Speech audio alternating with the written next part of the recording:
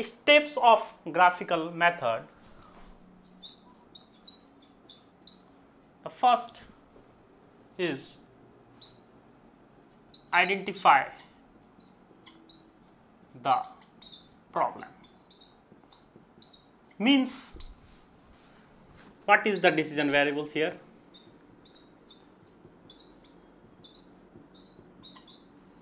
What are the decision variables?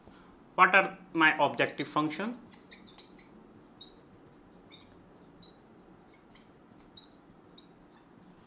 Second, set up the mathematical formulation.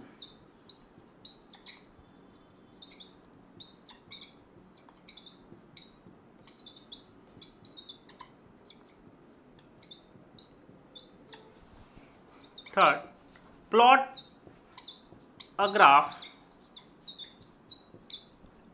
in such a way representing all the constraints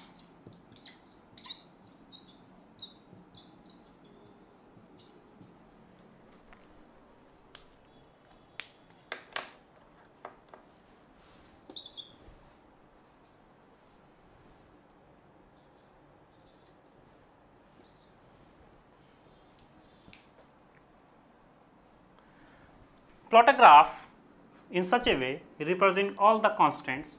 Second, identify the feasible region.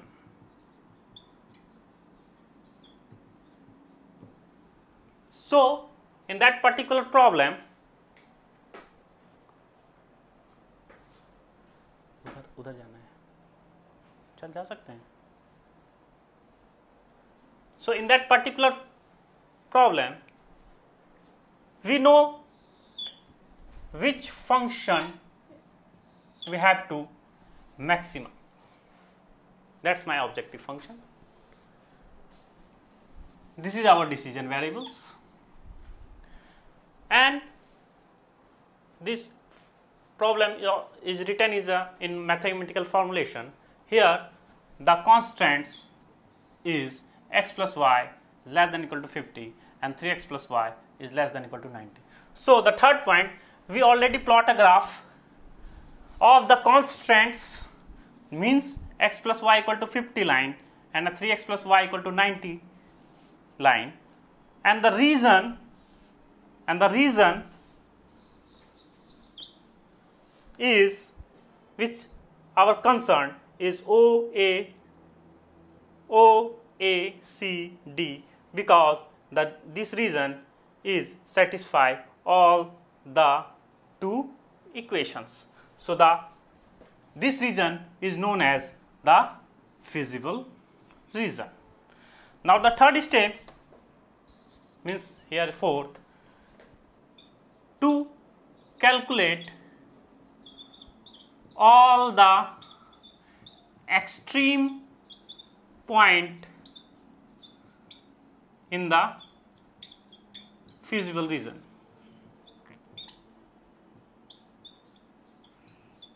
Extreme point of the feasible region means here the feasible region is O, A, C, D. We have to calculate the coordinate of O, A, C, D. Here our coordinate of O is 0, 0, A is 30 comma 0 C is 20 comma 30 and the D is 0 comma 50 and the fifth step to